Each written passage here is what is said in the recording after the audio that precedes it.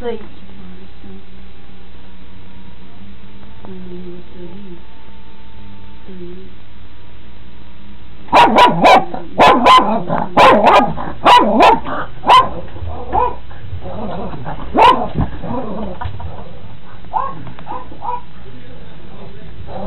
Thank you.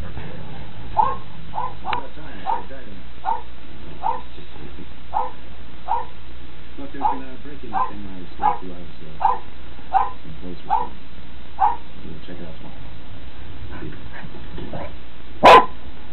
I'm sure there's no word on her mother. I know a word, but uh, she probably just wanted out.